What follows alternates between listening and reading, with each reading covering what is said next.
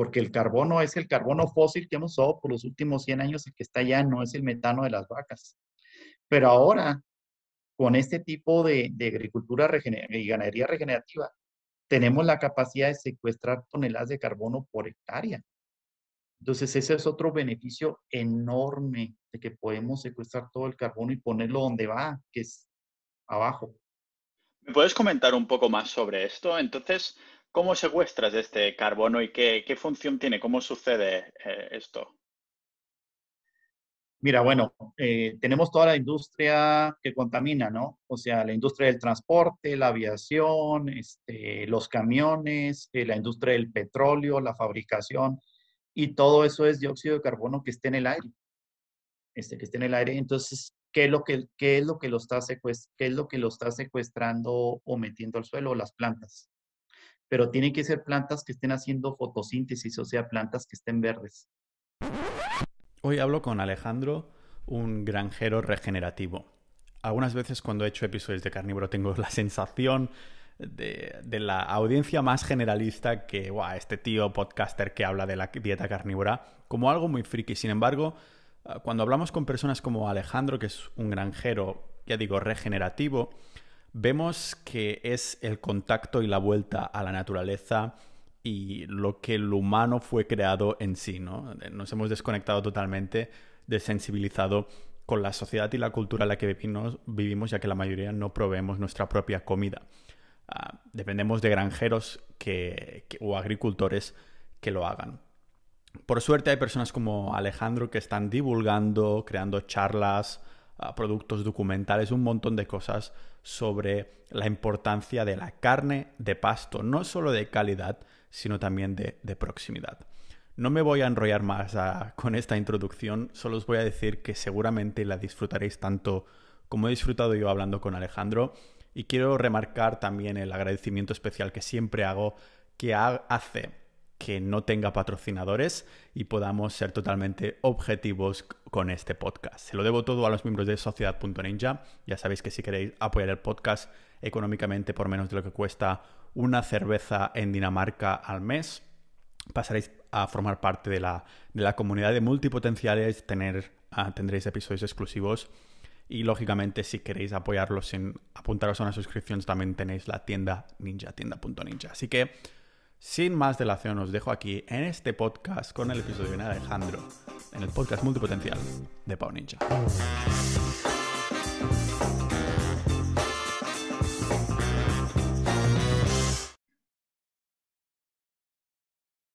Muy bien, Alejandro. Pues ah, ya te comenté cómo te conocí, ¿no? Que Después de leer el libro de Sacred Cow, ah, contacté con Diana Rogers, ¿no? Y pedí, ostras, necesitaría alguna persona que hablara español, ¿no? Que, ah, para hablar sobre el tema de la agricultura regenerativa, porque para mí esto me, me ha abierto mm, un mundo nuevo, ¿no? Yo antes, para que te hagas una idea, estuve seis años que era vegetariano, vegano, iba alternando con esto. Y después, aparte me decía la excusa a mí mismo de no, lo hago por salud, pero también por los animales y por el medio ambiente, ambiente que esto dicen que, es buenísimo y todo el mundo piensa eso, ¿no? Que los pedos de vaca son precisamente lo que, lo que hacen que, pues, que el cambio climático y cosas por el estilo. te tengo aquí, Alejandro, que me parece, eh, mira, hemos tenido que cruzar el charco para encontrarme con alguien que fuera experto en agricultura regenerativa así que en vez de, como yo tampoco te conozco a ti, ah, voy a dejar que hagas tú la, presentación de quién eres y qué, qué relación tienes con este mundo tú. Muchas gracias, Pau, por la oportunidad de compartir un poco de lo que hemos vivido, experimentado y seguimos aprendiendo de lo que es la agricultura y ganadería regenerativa. Mira, de hecho, yo estudié ingeniero en sistemas computacionales eh, estuve 15 años trabajando en esa industria. Eh, sin embargo, nosotros venimos de familias ganaderas en, en, Chihuahua, México. Y mi papá eventualmente compró un rancho y cuando tenía 70 años habló conmigo. Yo estaba trabajando en, en Miami, en Florida. Me dijo, oye, ¿quieres regresar al rancho? Le dije, sí, claro, vamos, vamos a darle. Sin embargo, la forma en que, en que yo experimenté la ganadería cuando estaba chico, eh, nosotros estamos enclavados en el desierto chihuahuense.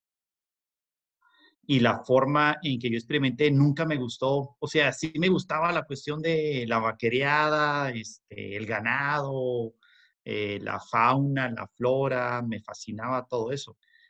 Pero no me gustaba el sufrimiento que tenían los ganaderos cada un año bueno, tres malos, un año, porque pues, tú sabes que en el desierto las lluvias son temporales y son erráticas. Este, y yo veía cómo se iba degradando también toda la tierra, ¿no? Y cómo los ganaderos estaban perdiendo sus ranchos por falta de rentabilidad. Este, entonces, cuando yo regresé acá a Chihuahua, tuve la fortuna de conocer algunas personas, eh, como hicimos, que ahí parado aquí en Chihuahua, porque estas personas estaban ya, tenían algunos años practicando el manejo holístico. El manejo holístico, pastoreo planeado, pues de una u otra forma llegué con ellos, hicimos buenas amigas, este, y nos pusimos a trabajar. Nos pusimos, obviamente, primero, ante todo, educarnos en lo que se trataba el manejo holístico de lolos, del todo, de que tienes que considerar todas las partes, o sea, cualquier partecita que muevas tú en tu ganadería, en tu rancho, va a afectar otra. Es como si te dices, oye, es que en nuestro caso, ¿no? En nuestro ambiente, es que los, coyotes, los coyotes están acabando con los becerros, hay que matar todos los coyotes. Pues sí, pero tiene un efecto dominó todo. O sea, tú matas un... Nosotros tratamos siempre de respetar todas las criaturas que estuvieron antes de nosotros. Y si no las tenemos, pues buscarlas porque todo, toda criatura, incluyendo las víboras de cascabel, que mucha gente le tiene terror y todo, nosotros las, las respetamos porque tienen una función particular en eso. Entonces nosotros estamos muy, muy motivados en lo que hemos hecho en los últimos 14 años, que es desde que aplicamos la ganadería regenerativa.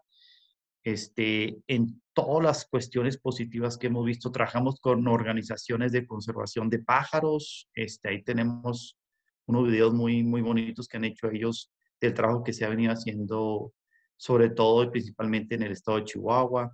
Este, ¿Por qué ellos te interesan en nosotros? Si Tú sabes que por mucho tiempo la ganadería y los conservacionistas estuvieron de punta. O sea, estuvieron, oye, es que ustedes están destruyendo esto.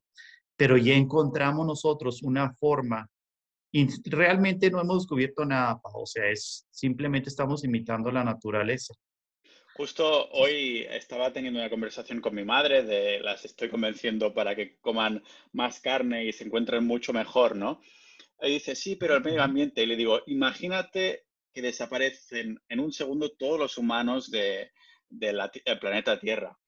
Tiene sentido que la naturaleza ya tuviera un, un, balance ¿no? de los animales que hay, todos estos ecosistemas, porque muchas personas no tienen en cuenta que en cada cosecha se destrozan ecosistemas enteros. Ah, sin embargo, como son insectos y no son animales monos, cucos que puedas abrazar directamente, Ah, de alguna manera las personas parece que se olvidan, ¿no? Que solo las vacas, no solo las vacas tienen sistema nervioso y cerebro para, para sentir el dolor y cosas de estas. yo siempre digo que ah, todo el sistema alimenticio tendrá muertes, pero yo creo que en el, en el tema de, ya te digo, soy totalmente novato en este sentido, pero he indagado sobre todo mucho en el tema de, de la salud y digo, vale, pero ¿tendrá sentido a nivel medioambiental, a nivel ético y estas cosas? Y, claro, tú me comentabas que te encontraste ahí, pero fue, ah, ¿terminaste encontrando la agricultura regenerativa de una manera orgánica o es que alguien te habló de ello o, comentaste con, la gente que conocías, ostras, ¿cómo podemos hacer, cómo te encontraste con esto? Mira, no somos muchos los ganaderos y agricultores practicando eh, lo regenerativo, pero yo creo que tenemos algo en común todos nosotros amamos la naturaleza y la vida. Eso es algo que tú vas a encontrar en personas que hables, eh, que practiquen la ganadería y agricultura regenerativa. Entonces siempre terminamos buscando la forma de cómo podemos promover la vida. Porque si tú ves históricamente y en los últimos, vamos a poner los últimos 60, 80 años, hemos descubierto cómo quitar lo que nosotros pensamos que no sirve. O sea, con venenos, con esto, con lo otro. Este, y eso nos, nos ha llevado a empezar a una lucha sin tregua contra la naturaleza. Y tú y yo bien sabemos, Pau, quién va a perder al final. O sea, el mundo va a seguir. Nosotros no estamos salvando el mundo, estamos salvándonos a nosotros mismos. Mm, temporalmente, ¿no? Porque al fin y al cabo las consecuencias a largo plazo son mucho mejor. Se provoca ah, esta desertificación, muchísimos más envíos de, gases a la atmósfera. Si, tuvieras que describir a la agricultura regenerativa, porque este es un podcast muy multipotencial que tratamos muchísimos temas, ah, y este no es un tema menos que, nos interese, ni mucho menos, ¿no? Entonces, si tuvieras que describir la, a la agricultura regenerativa a los oyentes, ¿cómo la describirías si te las, si los encontraras en un ascensor y tuvieras que dar, venga, dos minutos a esto es la agricultura regenerativa para que no se les haga la mente una bola de información? Sí, mira, eh, para mí la agricultura regenerativa es simple, sencillamente imitar lo que hace la naturaleza para poder producir alimentos. O sea, tenemos muchos años tratando de estar sobre la naturaleza, y claro, hemos tenido muchos avances tecnológicos y organismos eh, genéticamente modificados, pero en simple términos, nosotros lo que hacemos es seguir a la madre naturaleza, seguir su ejemplo y tratar de imitarla en todos los aspectos. Entonces, ¿cómo la imitamos? Pues en la, naturaleza hay eh, eh, múltiples especies, o sea, no nada más hay una sola especie. En la naturaleza hay múltiples plantas, no nada más hay un monocultivo la naturaleza tiende a cubrir el suelo con algo. No lo tiene descubierto como muchos de los cultivos que tenemos que están tres meses cubiertos con maíz o con soja o soya y todo el resto del año están descubiertos. O sea, ese es un punto muy importante, Pau, porque si tú vas, por ejemplo, a, una, a, una, a un terreno, a, una, a, la, a ver cómo se, se lleva la agricultura o la ganadería, muchas veces tenemos el suelo descubierto. Y eso tiene una afectación muy grande en el clima. Yo he, yo he medido el termómetro en el mismo día en un suelo descubierto a las 4 de la tarde y está a 60 grados centígrados. Y cuando me muevo unos pocos kilómetros de ahí y llego a, nuestro rancho y lo pongo el, el, termómetro donde hay pasto y está a 28 grados centígrados Celsius. Qué diferencia. imagínate si extrapolas todo eso a nivel mundial, entonces tenemos un problema súper grande que lo podemos nosotros resolver con la agricultura y ganadería regenerativa. Porque muchas veces la gente va a preguntar, bueno, ¿y cuáles son los beneficios de eso? Bueno, primeramente vas a poder mantener a la, a la gente de campo en el campo. Porque la gente no se mueve por gusto, o sea, la gente se mueve porque pues ya la tierra no está produciendo, la tierra se cansa. ¿Por qué? Por, la forma en que lo estamos haciendo. Este, vas a producir alimentos de una, alto, una alta densidad nutricional. O sea, nosotros somos parte de la naturaleza, o sea, nosotros, nuestro bioma refleja al final del día la microbiología del suelo. Entonces, nosotros tenemos un suelo que está lleno de esa microbiología, de, todos esos microbios ahí, este, de bacterias y hongos. Entonces la planta va a estar sana, porque acuérdate que las plantas no tienen estómago, o sea, las plantas están completamente dependientes de la microbiología del suelo con esa simbiosis que hacen entre ellos. Entonces, si la planta está sana y tú te comes esa planta, estás comiendo algo que, están, eh, que tiene buena densidad nutricional.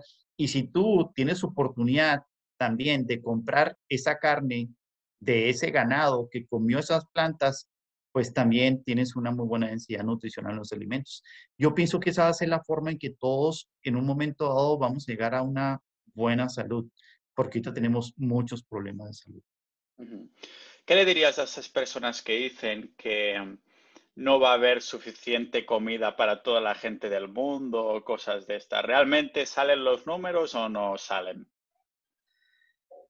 Mira, yo como ganadero te puedo decir que los ranchos que he visto en el norte de México, en el oeste de Estados Unidos, en zonas que son de este, temporada, eh, eh, lluvia de temporada, no estamos ni al 10% de lo que podemos producir. O sea, están muy, muy abajo, o sea, en, la producción de lo que es la, carne, de lo que es el, el, cordero, lo que es el ganado vacuno, este, estamos muy, muy, muy por debajo. O sea, tenemos un potencial tremendo, para, para poder eh, suplir la demanda y mucho más. Y de un producto no que se va a medir por toneladas como lo hemos hecho en los últimos 50 años, sino que también va a ser por densidad nutricional. Totalmente, porque mucha gente también confunde el sentirse lleno físicamente en la barriga con la saciedad, la saciedad que es hormonal y viene precisamente de los nutrientes que, que tú has ingerido. Por eso una persona que está muy bien nutrida tiene mucha menos sensación de hambre y puede hacer ayunos intermitentes muchísimo más, más largos. Totalmente, me siento muy identificado en lo que comentas. Cuando dices que se puede explotar más, que estáis, no estáis ni al 10%, ¿te refieres a que hay muchísimas praderas donde los animales pueden pastar o a qué te refieres? Sí, mira, lo que pasa es que eh, en el ambiente donde yo me muevo, que es en el semidesértico y también muchas áreas es que hay que recordar, Pau, que muchas áreas en el mundo se están desertificando. ¿Por qué? Porque no estamos manejando nuestro ganado, incluyendo también agricultura. O sea, lo que es la agricultura, tú vas a la agricultura, a una agricultura orgánica. Tú vas a ver un campo de agricultura orgánica y si no siguen los principios regenerativos, los suelos van a estar compactados por el uso del, uso del arado y, y todo eso y no van a traer ninguna densidad nutricional. Entonces, por ejemplo, en, praderas naturales, pastizales nativos, les puedes llamar sabanas, pastizal, este, todo eso, ¿no? Están muy, muy por debajo de su potencial porque no estamos imitando, estamos, en vez de estarlos mejorando, los estamos degradando con el ganado. Porque el ganado es una gran herramienta para mejorar los pastizales, pero también puede ser un, una, una gran, eh, un gran problema si no movemos esos animales. ¿Cómo, ¿En qué momento se convierte en un problema y en qué momento se convierte en una bendición el ganado? Sí, mira, eh, si, si, vemos aquí cómo es en Norteamérica, cómo iban las migraciones de los bisontes o los búfalos, ellos están en constante movimiento. Hay escritos en donde dicen los exploradores que ellos iban cabalgando sus caballos detrás de las manadas de búfalos y por tres días no pudieron encontrar pastura para sus caballos. Imagínate el trabajo que estaban haciendo esos bisontes fertilizando, moviendo la tierra con las pezuñas, este, el efecto saliva, eh, todo eso, o sea, el impacto animal. Entonces nosotros al dejar, nosotros, bueno, vino la invención del cerco, entonces los animales se dejaron de mover entonces empezaron a sobrepastorear plantas hasta que las mataron. O sea, no hubo ahí el impacto en conjunto con un descanso adecuado. Entonces nosotros lo que hacemos es con el cerco eléctrico en estos días move, y con muchos potreritos movemos los animales muy seguido, tratando de imitar ese movimiento constante que le da salud al pastizal y que le da salud al animal. Vale, de acuerdo. Entonces entiendo que la ganadería y la agricultura regenerativa que hacéis es un trabajo bastante diferente en lo que es una ganadería convencional industrial de toda la vida, ¿no? ¿En qué cosas se diferenciaría en este sentido? Sí, mira, para empezar, eh, si comparamos el ganado eh, bajo un pastoreo abierto de, lo que se llaman grass-fed, ¿verdad? este, nada más imagínate tú que el ganado tiene la capacidad de automedicarse, como comiendo plantas distintas. O sea, estamos hablando de que el ganado puede comer al final del día hasta 50 plantas. Imagínate los fitonutrientes de esas plantas que se van a reflejar en la carne que tú vas a comer contra un ganado que está estabulado en un corral, que le estás dando maíz y que le estás dando antibióticos en la comida, porque no vas a vacunar cada animal individualmente. Entonces, no solo el problema es que estás comiendo algunos antibióticos, sino que el ganado está sufriendo ahí porque su dieta no está basada en el maíz, o sea, o, lo que le den, ¿verdad? O sea, cuando tú ves un animal, cuando tú ves un animal, este, que lo que es el canal del animal, lo que es el, ves cómo todos sus órganos están muy bonitos en un, en un, cuando viene el pastizal. En cambio, el animal sufre mucho cuando está en un corral estabulado. O sea, yo, por ejemplo, los órganos son, son excelentes, o sea, el hígado, el corazón, el riñón, pero yo nunca me comería un hígado, corazón y riñón de un animal que está estabulado porque es en donde también se concentran todos los, todos los tóxicos, ¿no? Pero sí, yo, yo pienso que hay mucha diferencia y también en la vida del animal, o sea, el animal fue, yo creo, yo, yo pienso que el animal fue creado para estar en la libertad, o sea, para estar en los pastizales. Totalmente. Y en cuanto a tu trabajo, ah, si estuvieras criando un animal ahí con grano entiendo que tu trabajo mayoritariamente sería el de llevar ahí la comida, dársele de comer y estas cosas. ¿eh? Ahora comentabas lo de los cercos, ah, el cambio para que haya más rotación y estas cosas. En una semana, digamos, ¿qué tipo de actividades puedes hacer tú como, no sé si te denominas agricultor regenerativo o si esta palabra existe o cómo, cómo te etiquetas y cuáles son a lo mejor algunos de los trabajos o tareas que, una, persona como tú puede hacer en un, rancho así? Sí, mira, yo te puedo decir que me denomino un ganadero holístico regenerativo. Tenemos un poquito, sea, la palabra en inglés agricultura este, cubre agricultura y ganadería. Acá en México somos un poquito más distintivos en cuanto si eres agricultor o eres ganadero o ambos, ¿verdad? Entonces, yo soy más bien ganadero regenerativo, holístico. Este, el trabajo es muy bonito, es muy sencillo el trabajo que hacemos, porque las vacas, las vacas son muy inteligentes y ellas aprenden que las vas a, le vas a dar un plato limpio todos los días. O sea, todos los días las movemos. Entonces, tú vas con las vacas y ellas te siguen. O sea, normalmente en, un, en, una, en una ganadería convencional, tú vas y empujas las vacas y las arreas y todo a que ellas confían en ti y tú eres el líder de la manada. Entonces, donde quiera que tú camines, ellas te van a seguir. Es impresionante el, cómo te vuelves parte de ellas. Es, es impresionante cómo ellas te confían para que tú vayas y le abras esa puerta todas las mañanas y ellas hacen un plato limpio con pasturas, en nuestro caso, en nuestro contexto, ellas nada más eh, pastean ese, ese potrero en particular nada más una vez al año. Entonces lo pastean bien y ese, ese potrero se descansa todo un año. ¿Qué quiere decir con ese descanso? Que, que tú le estás dando también sanación al pastizal. entonces es un trabajo bien sencillo que lo hemos hecho con un niño que pueda guiar de 12 años, que puede guiar, o, un, una persona de 90 años que también puede abrir la puerta.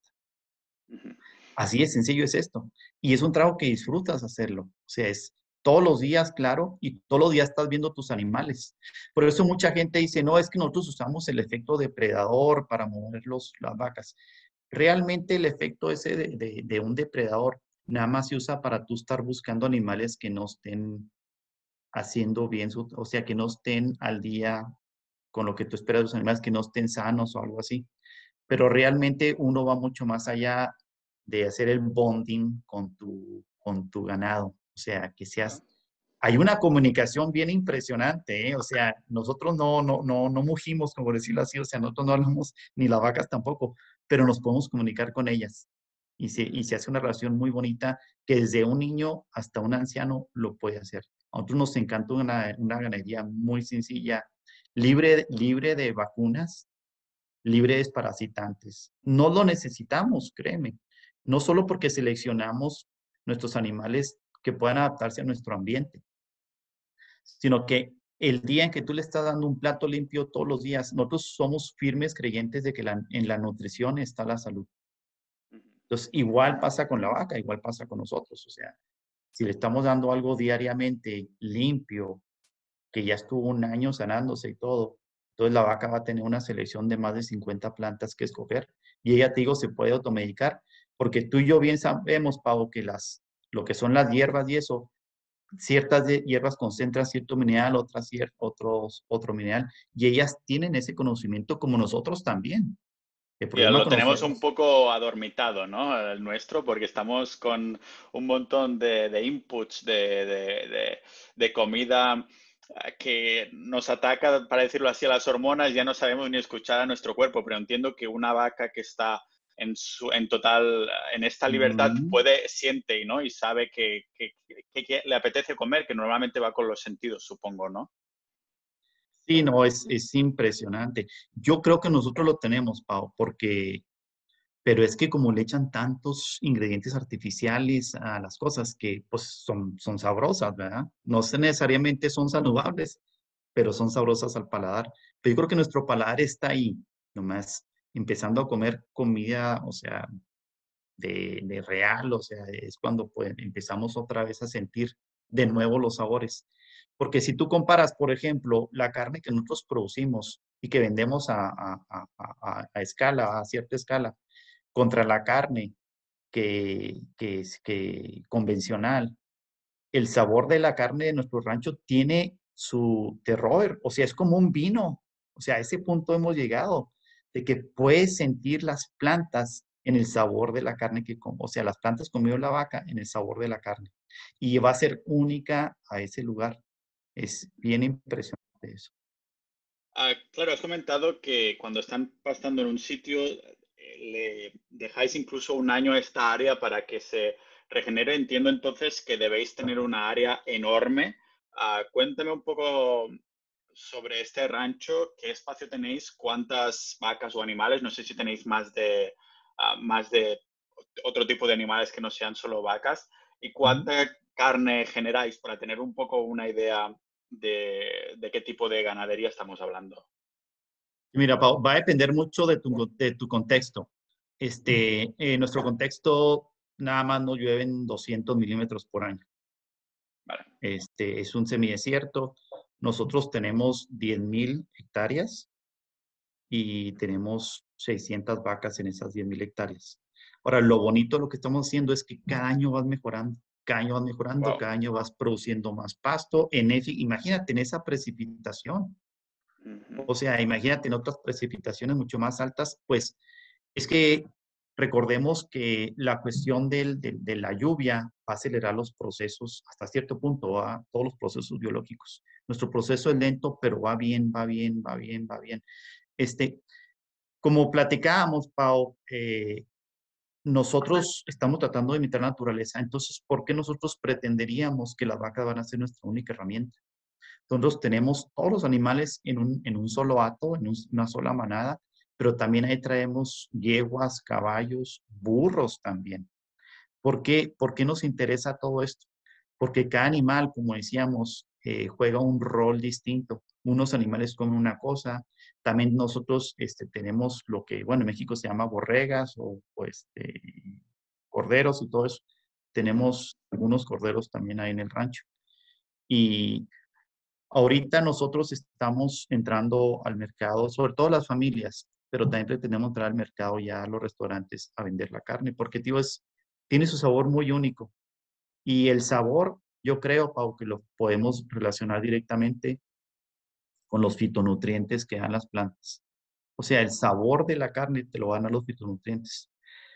Ahora, o sea, no todo es color de rosa y eh, tratemos de ver de que la carne grass-fed está de moda. Pero yo pienso, Pau, que el mayor enemigo ahorita de la carne grass-fed es la carne grass-fed.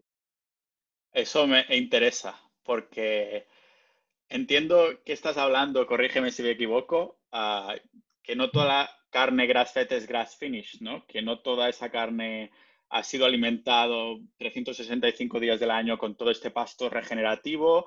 Ah, cuéntame un poco de estos detalles, porque alguien como yo sabe tal vez la diferencia entre grass fed, grass finish, pero no mucho más que esto, ¿no? Y una persona como tú nos irá genial a los siguientes para, para entender más esto. ¿Por qué dices que el enemigo de grass fed es precisamente grass fed?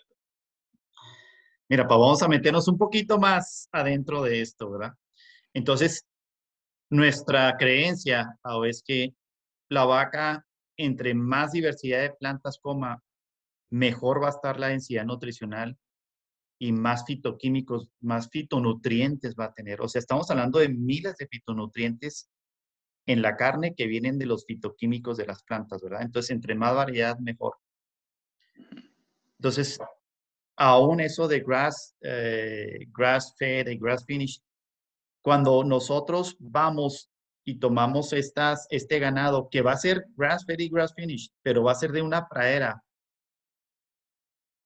con, con fertilizada con NPK y que nada más va a tener dos variedades o a, veces es monocultivos.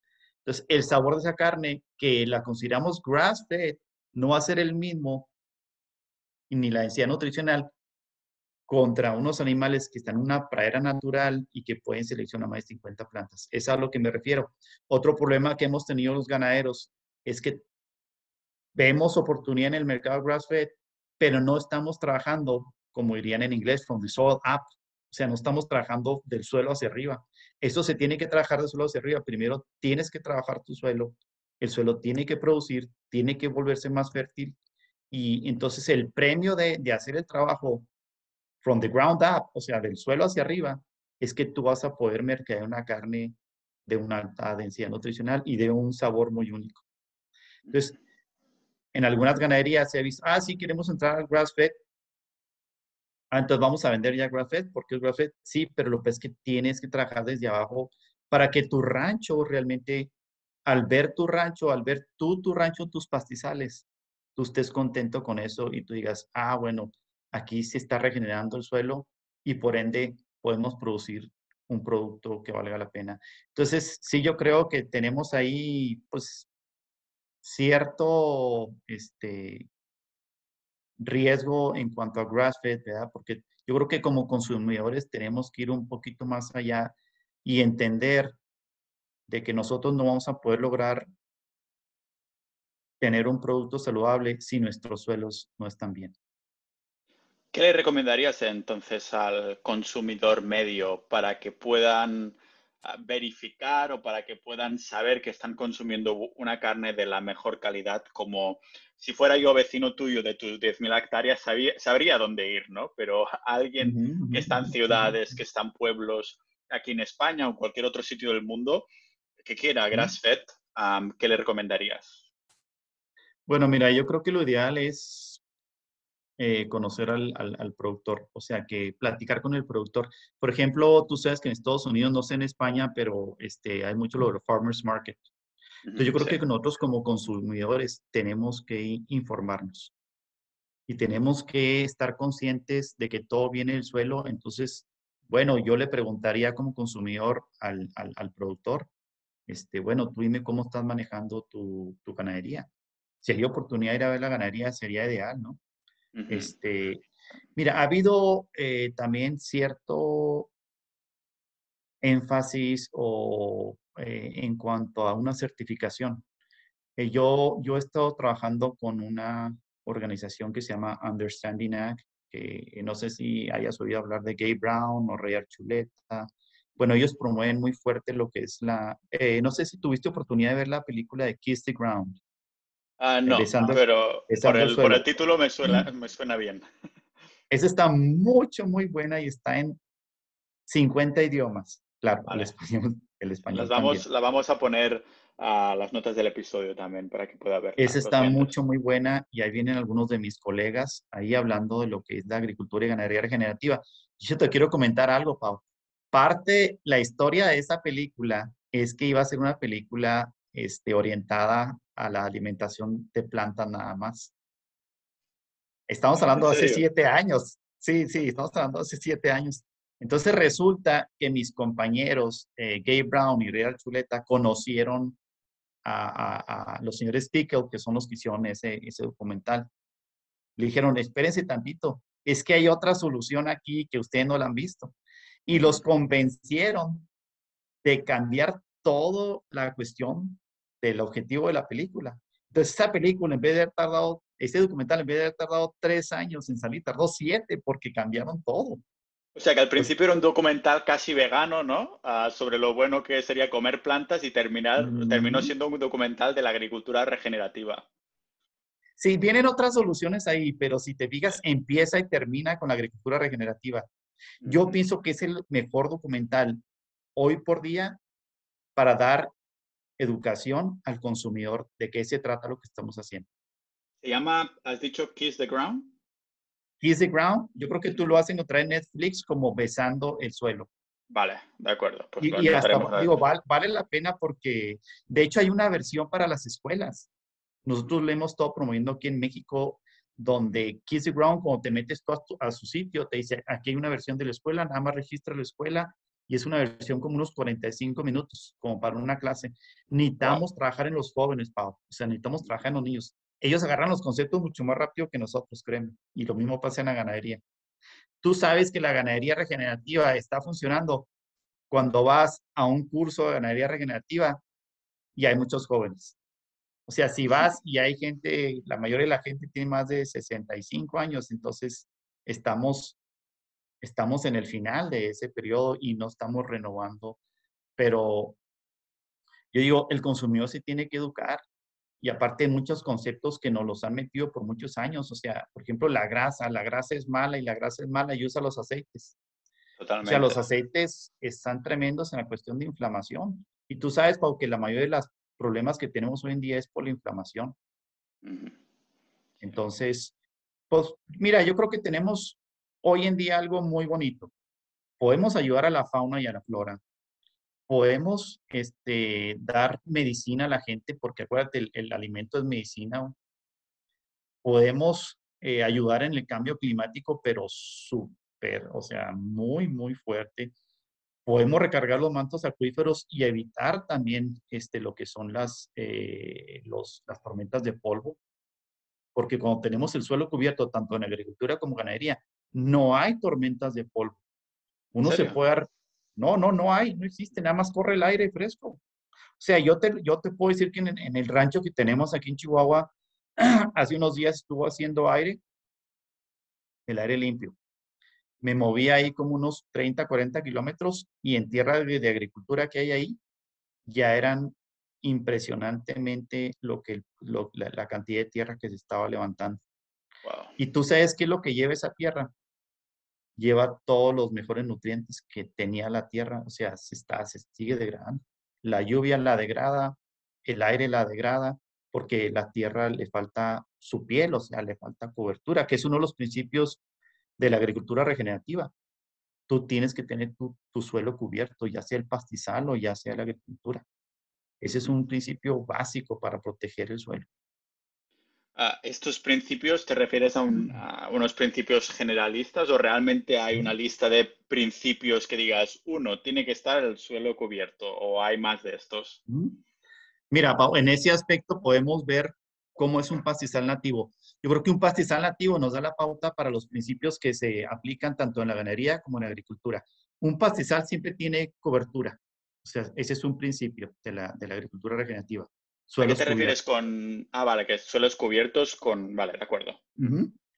Otro principio es raíces con vida, o sea, plantas con vida. Entre más tú vas aplicando este principio, por ejemplo, en agricultura, pues es sembrar otro tipo de planta para que siempre, eh, para que siempre haya fotosíntesis. Porque al final del día lo que va a capturar carbono, bueno, y ese es otro tema también muy interesante, o sea, los, los, los, bonos de carbono. Nosotros como ganaderos de agricultores tenemos una responsabilidad enorme de secuestrar carbono, porque el carbono es el carbono fósil que hemos usado por los últimos 100 años, el que está allá no es el metano de las vacas. Pero ahora, con este tipo de, de agricultura y ganadería regenerativa, tenemos la capacidad de secuestrar toneladas de carbono por hectárea. Entonces, ese es otro beneficio enorme de que podemos secuestrar todo el carbono y ponerlo donde va, que es abajo. ¿Me puedes comentar un poco más sobre esto? Entonces, ¿cómo secuestras este carbono y qué, función tiene? ¿Cómo sucede eh, esto? Mira, bueno, eh, tenemos toda la industria que contamina, ¿no? O sea, la industria del transporte, la aviación, este, los camiones, eh, la industria del petróleo, la fabricación y todo eso es dióxido de carbono que esté en el aire. Este, que esté en el aire. Entonces, ¿qué es lo que, qué es lo que, lo, está qué es lo, que lo está secuestrando o metiendo al suelo? Las plantas. Pero tienen que ser plantas que estén haciendo fotosíntesis, o sea, plantas que estén verdes. Entonces, ah. sí, ¿no? Una planta que está oxidada o que, o que no está haciendo fotosíntesis no va a estar secuestrando carbono. Ahora, toda la vida, Pau, nos hemos enfocado en los árboles y los árboles y los árboles. Y claro, la masa que tienen los bosques es impresionante. Pero acuérdate que dos terceras partes del mundo, la vocación son pastizales. Y los pastizales, es que muchas veces hemos tenido la creencia, Pau, y, errónea, de que, bueno, en zonas lluviosas, porque la mayoría de los pastizales en el mundo son, son zonas de, con, con eh, lluvia de temporada, no son zonas tropicales. Entonces, hemos tenido la creencia de que dejar solo el terreno, el rancho, el, suelo, se va a regenerar solito. Pero los pastizales son diferentes a los bosques y las selvas. los pastizales evolucionaron con el ganado, evolucionaron con los bisontes, con los búfalos. Entonces, uno necesita al otro. Pues dejar los suelos así completamente solos, lo único que va a pasar es que se va a convertir en un desierto. O sea, se, la planta tiene su ciclo y entonces esa planta tiene que ser comida por un animal a cierto tiempo. Si el animal no la come, un rumiante, entonces esa planta va a tener a oxidarse y todo eso va a liberar carbono también. Se va a liberar carbono al, aire. Es que nosotros... cuando lo explicas así, dices, Claro, tiene todo el sentido del mundo, ¿no? Es de sentido común. La naturaleza ya ha creado un sistema que por sí solo está balanceado. Sin embargo, somos nosotros que, hemos adoptado un estado de las cosas que hemos cambiado como si fuera la nueva norma. Sin embargo, la norma original era el de, la naturaleza. Ah, me parece súper, súper interesante. Y claro, lo que comentas del, del medio ambiente y todo, mm, estoy segurísimo que te sigues encontrando personas que siguen pensando que esto de los pedos de vaca y todas estas cosas, ahí le tienes que explicar todo esto, ¿no? Sí, Pau, por ejemplo, este, tenemos una organización nosotros que promueve el manejo holístico regenerativo en México, se llama Pasticultores del Desierto. Y está acreditada ante la ONU. Eh, una de las convenciones es para eh, la degradación de la tierra y, la desertificación. Entonces, muchas veces hemos estado ahí con los delegados de los, de, los países y cuando saben que somos ganaderos, nos dicen, no, es que ustedes eh, toman tantos miles de litros para producir un kilo, de carne. Ahí el, ahí el problema, Pau, vamos a suponer que tenga razón en eso. Vamos a suponer que nosotros tomamos tantos litros para producir un kilo de carne. Ok, está bien, estamos de acuerdo. Pero volvemos al problema de, nuestro pensamiento lineal, o sea, no estamos pensando holísticamente. En un rancho como el mío, nada más para ponerte un ejemplo, donde hemos aplicado la ganadería regenerativa, tenemos la capacidad de infiltrar 18 pulgadas por hora no, ni siquiera, ni siquiera tenemos esa precipitación el año, pero tenemos la capacidad. ¿Por qué? Porque hemos regenerado los pastizales, porque hemos alimentado la microbiología del suelo y que al final del día la microbiología del suelo es la que nos permite crear los espacios en el suelo para que el agua se pueda infiltrar. O sea, lo que es el, la micorriza, los hongos micorriza, son los que crean los agregados, que crean los espacios para que el agua pueda penetrar. Ok, perfecto. Si extrapolamos en un suelo que está degradado, nada más va a, nada más va a infiltrar probablemente no más de dos pulgadas eh, de lluvia por hora, otros 18 pulgadas de lluvia por hora. Si vemos la diferencia ahí, nosotros en mi, por ejemplo, nada más en mi rancho, con el agua que podemos infiltrar, podemos cubrir las necesidades de agua de una población de 100 habitantes por todo un año. Eso es lo que nosotros queremos comunicar.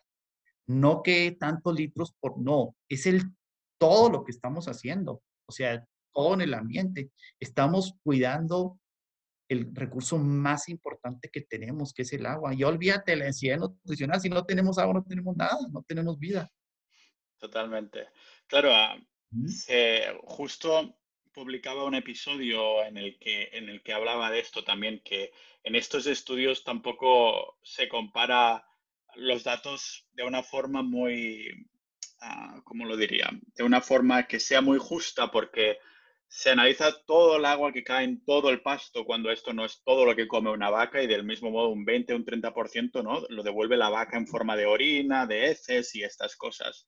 Ah, por eso no me parece que se haya mirado y sobre todo hecho público de una manera muy mainstream, ¿no? Para, para los medios, porque supongo que por esto te encuentras tú explicándoselo a estas gentes ah, de, que, de que esto no funciona así. Ah, ¿Te encuentras mucho ah, que se ponen muy a la defensiva o estas personas realmente dicen, ah, pues tienes razón o no te encuentras mucho de esto? No, mira, la verdad es que sí te, sí te dan la razón, porque nosotros como diríamos rancheramente, tenemos los, los pelos de la burra en la mano. O sea, nosotros, nosotros lo hemos vivido, o sea, nosotros lo vivimos diariamente. De hecho, si, si, si nos vamos un poquito más allá, estamos creando microclimas, microclimas de, lluvia. Nosotros tenemos comprobado que en los ranchos regenerativos, en el desierto de, de Chihuahua, que es el desierto más grande de Norteamérica, nos está lloviendo más que los ranchos que no tienen vegetación. Nosotros estamos 100% seguros que para que llueva y que llueva de una forma controlada y no inundación eh, seca, como, como hoy, ¿verdad? Tenemos inundaciones y luego tenemos secas, inundaciones. Tenemos, ¿por qué? Porque nos está faltando la vegetación.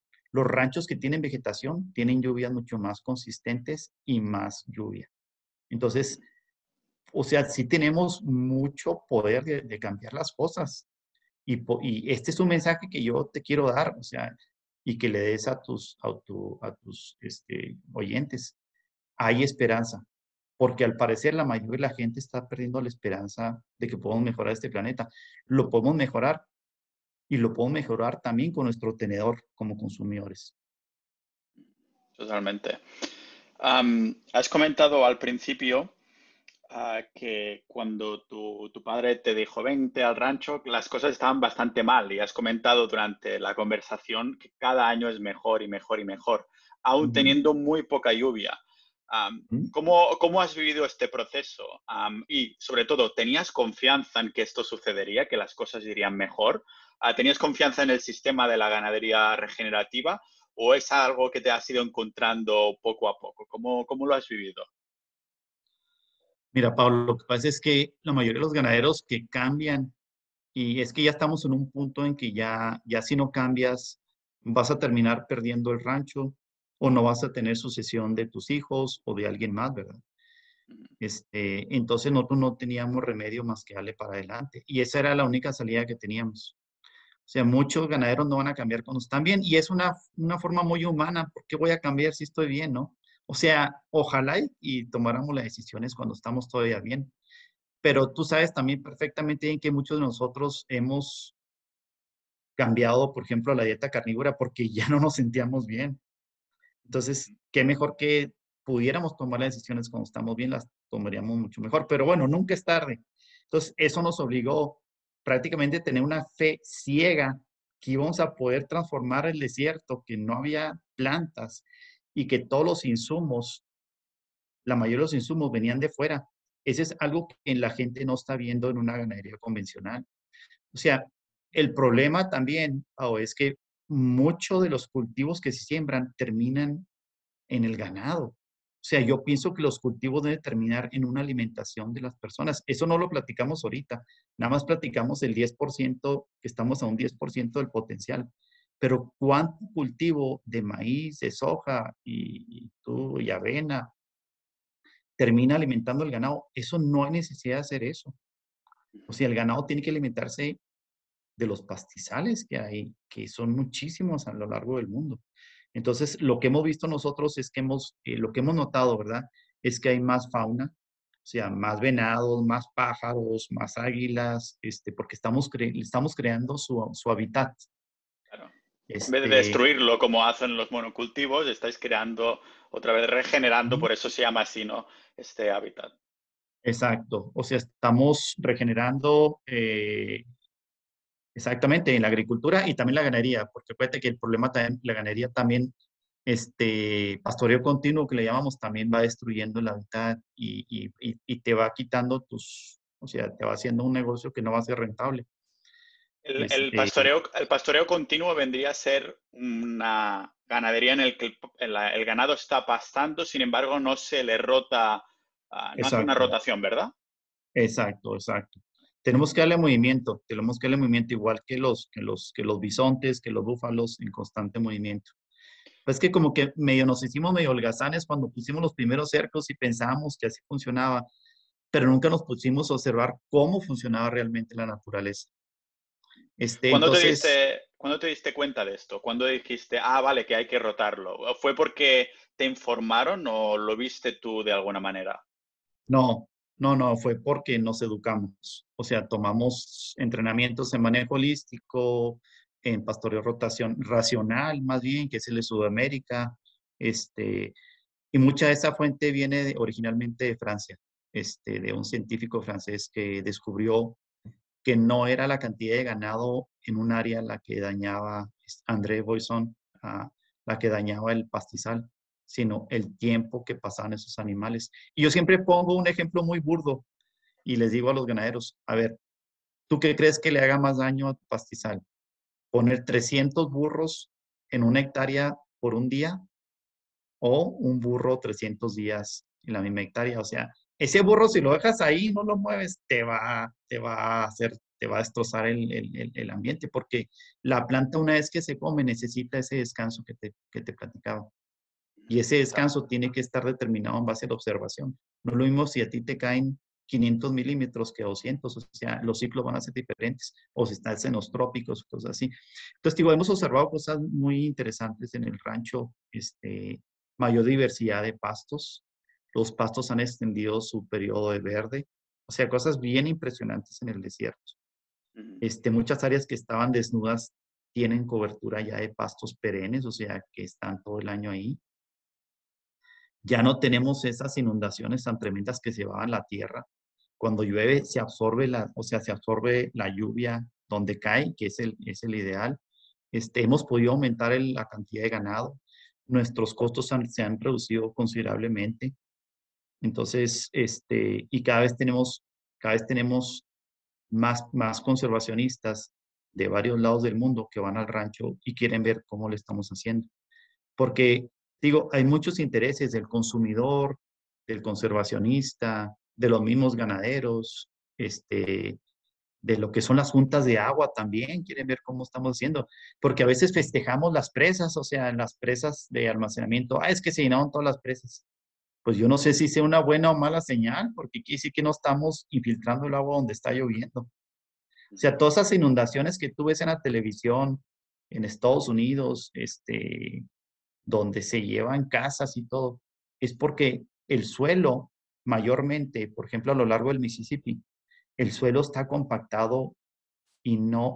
Tú imagínate que tú vas a un campo agrícola y están regando con esos pivotes y lo están regando y aún sacan agua del subsuelo en áreas que le llueven 40 pulgadas. O sea, si te viven 40 pulgadas no tienes ninguna necesidad de estar sacando agua del, subsuelo. Pero ¿qué pasa? Los, los suelos están compactados y entonces las raíces están bien, bien superficiales. Aún la raíz del maíz, que es bastante grande, bastante alto. Cuando tú agarras una pala y ves el suelo, está como en capas, compactado, o sea, no tiene vida, ese maíz no tiene nutrición, es parte del problema, Pau, que estamos midiendo la producción en tonelaje, no en densidad nutricional. Totalmente. Entonces, imagínate. Medir la densidad nutricional es un poco. Claro, la gente piensa que es muy subjetivo, ¿no? Porque es algo que sientes un poco. No sé si hay alguna manera de medirlo. En, en, eso está ahorita, este, que hay algún, algún tipo de, de dispositivo que las amas de casa puedan usar. Y, por ejemplo, nosotros usamos mucho lo que es el refractómetro. El refractómetro que te da, eh, te da los grados Brix, o sea, te da en parte la densidad nutricional. Se usa mucho en lo que son los viñedos para saber cuándo cosechar la uva. Vale, porque yo soy de, de un área aquí en, en, Cataluña que hay un montón de viñedos. Seguro que mi padre que ha tenido, ha tenido uno, seguro que sabe lo que es, pero me, va a desheredar cuando, cuando le diga que no sé lo que es esto. ¿Cómo se llama el aparato? Refractómetro. Refractómetro. Es como una serie de, de, de, espejos de vidrios que tú lo pones contra el sol, le pones unas gotitas, por ejemplo, se lo puedo usar también con la fruta, el tomate, eso, le pones unas gotitas este, y lo pones hacia el sol y te va a dar los grados Brix entre más grados, quiere decir que hay más densidad de nutrición, más, ah, más, sol, más sólidos. Entonces también va a ser más, más dulce y cuestiones así. Lo interesante, por ejemplo, en la ganadería regenerativa con el refractómetro, es que, perdón, el promedio de grados Brix en los pastizales por el suelo, ¿ah? porque acuérdate, todo lo que estemos hablando hoy, todo va ah, de nuevo hacia el suelo.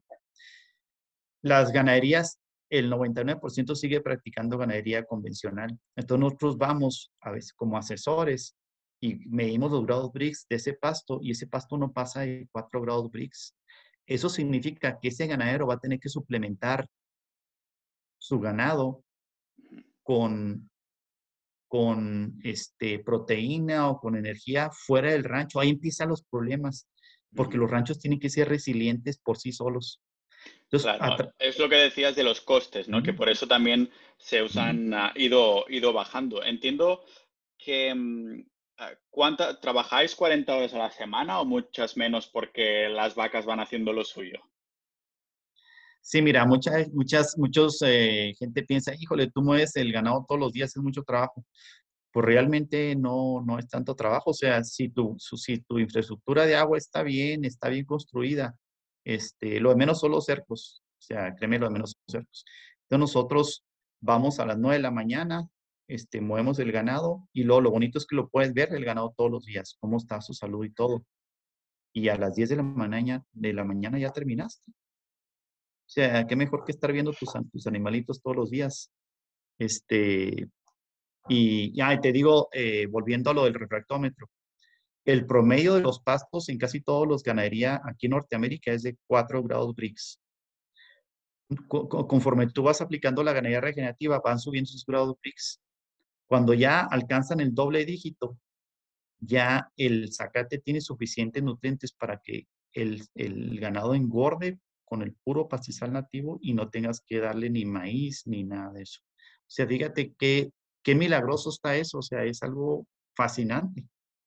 Ya si fueras tú un consumidor más sofisticado, irías con el ganadero que está vendiendo la carne, le dirías, a ver, déjame ver qué tal está su pastizal, porque la forma que esté su pastizal, pues va a ser la, la calidad de su carne. Pero bueno, ya estamos sofisticando mucho el tema, pero es, es importante que, que como consumidores nos eduquemos en todos esos aspectos.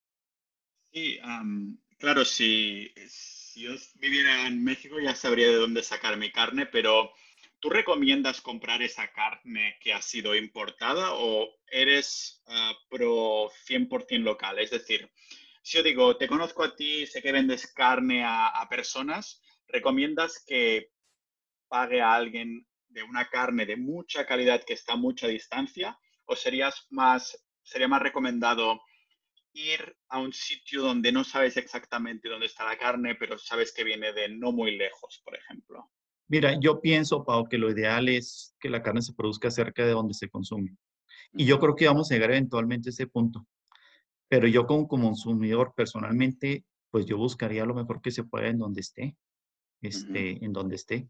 Porque son tantos los beneficios de un manejo regenerativo que aún con el costo y, como le dicen, la huella del carbono que pueda tener esa carne y todo, los beneficios son muy grandes para las comunidades, para la cuestión de tu salud, para la cuestión de, del sabor. Fíjate siempre mucho en el sabor que tengan tus alimentos.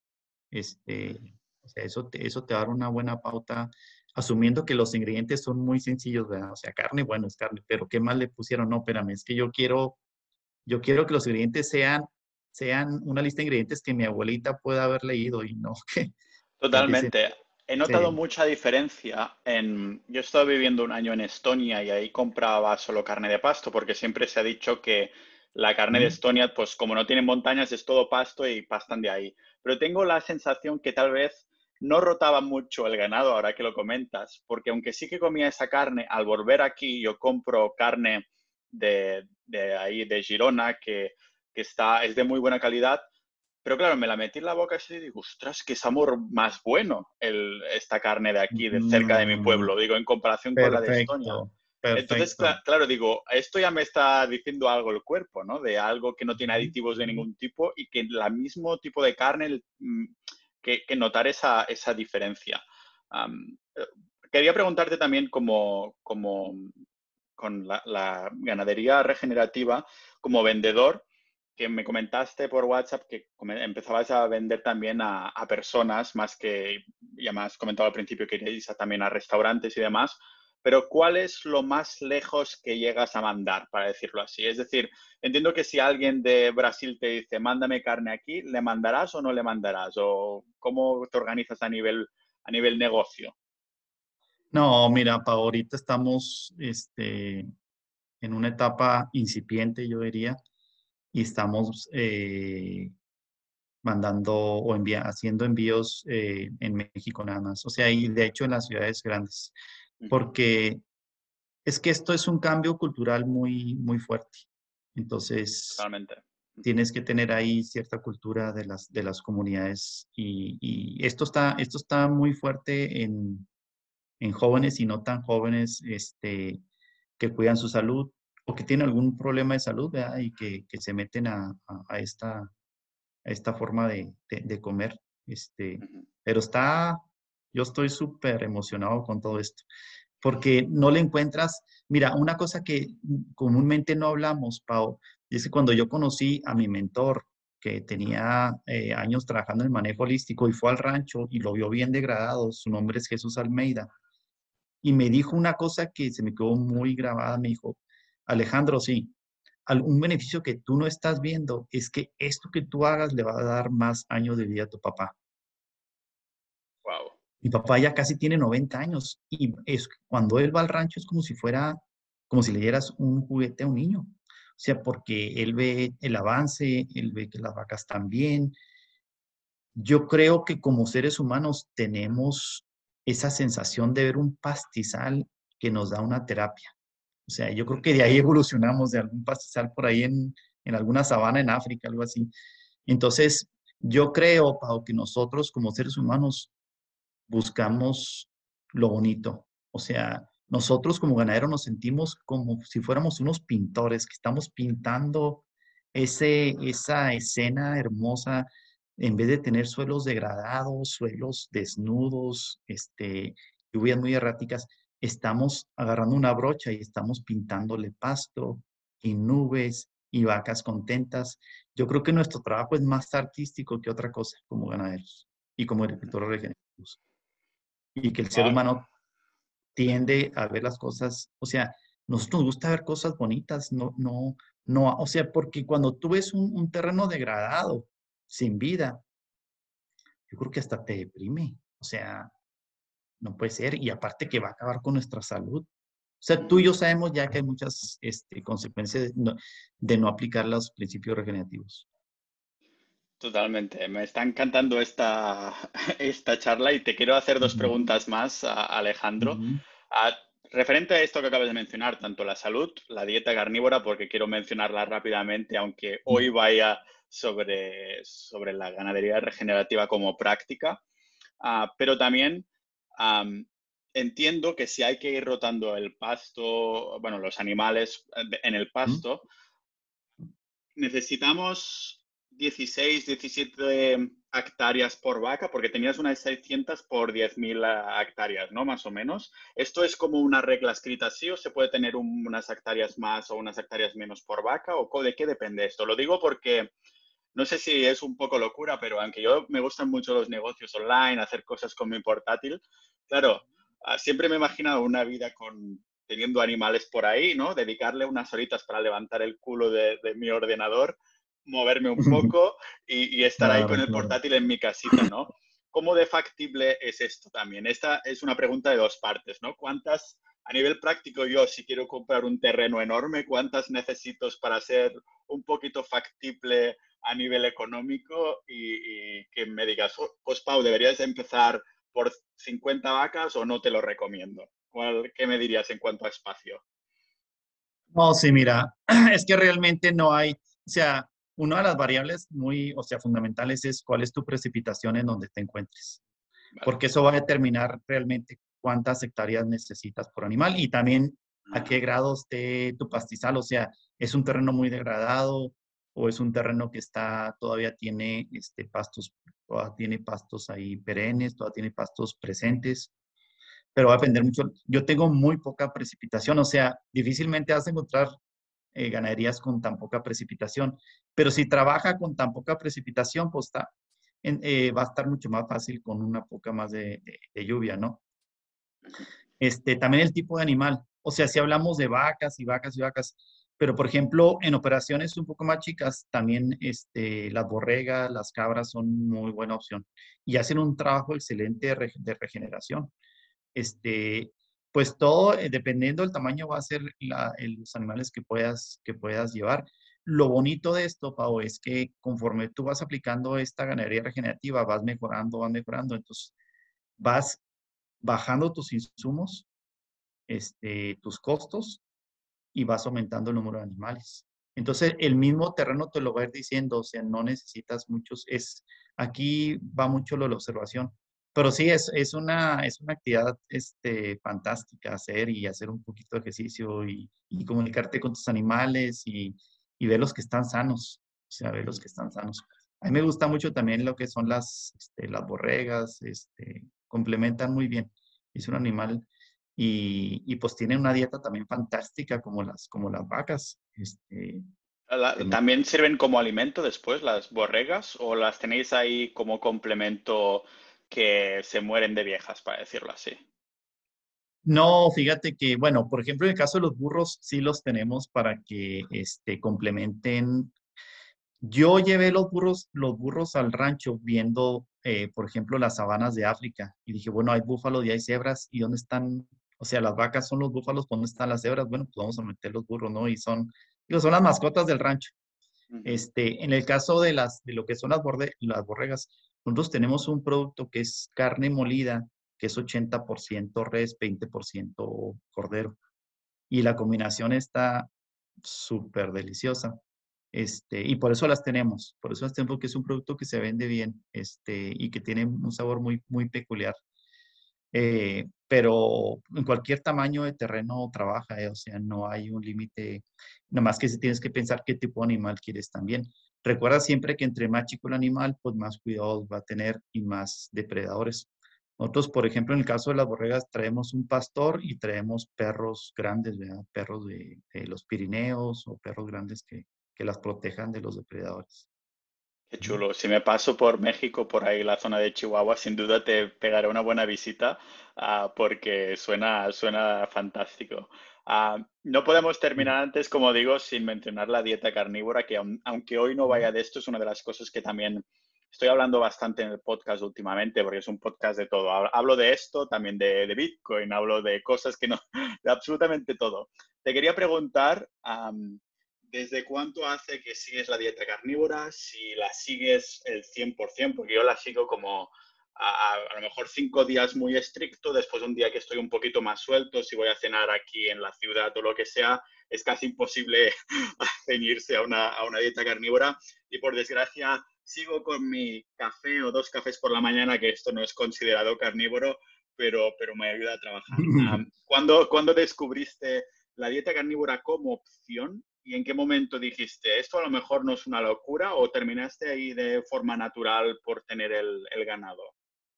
No, fíjate que no fue de forma natural. Este, nosotros eh, con eh, la organización de, de, de, consultoría, asesoría que, que, trabajamos con ranchos en Estados Unidos, nos tocó algunos clientes, me tocó a mí algunos clientes que el propósito de hablarnos para apoyarlos es que ellos querían producir su propio ganado. De hecho, clientes que ni siquiera eran ganaderos, que compraron la propiedad y platicando con ellos y preguntándoles, pero bueno, ¿cuál es tu objetivo? Lo que pasa es que, y bueno, no es particular tuyo, Pau, pero me dijeron, lo que pasa es que eh, yo era muy deportista, eh, gente, vamos a poner de cuarenta y tantos años, este, por ponerte un ejemplo, me, me, me decían, es que yo era muy deportista y después empecé a sufrir de algunas cuestiones eh, de salud, este, coyunturas, inflamación, obviamente, ¿no? Y pues me metí a, a, a, la dieta vegana, vegetariana. Y pues en unos años no me, me sentía igual o peor. Y hablé con un amigo, me dijo, ¿no has probado la dieta carnívora? En Estados Unidos, estoy hablando de una persona en Texas, ¿no? Este, no. Y entonces él llevaba tres años ya y se sentía como de 25. Mm. Entonces a mí me empezó a entrar la curiosidad y luego después fui con otro cliente igual y luego un amigo igual y dije, no, espérame, yo voy a probar esa dieta. Y la verdad te digo, Pau, me he sentido fantástico. Yo la llevo así, igual que tú, este, yo creo como en un 90%, sí trato de llevarla. Pero se me hace una dieta, la verdad, este, fantástica. Y pues claro, también tenemos acceso a, a, a la carne de res, de borrego. Claro tú mejor que nadie sabes cómo los tratas, lo que comen y, y la densidad nutricional que tendrán, ¿no? Entonces, ¿a qué mejor manera de, de hacerlo? Y, y, qué mejor manera también de aprender sobre la ganadería regenerativa que invitándote al podcast, Alejandro, porque ha sido un placer enorme uh, tenerte aquí y robarte esta, esta horita, horita y algo de tu tiempo.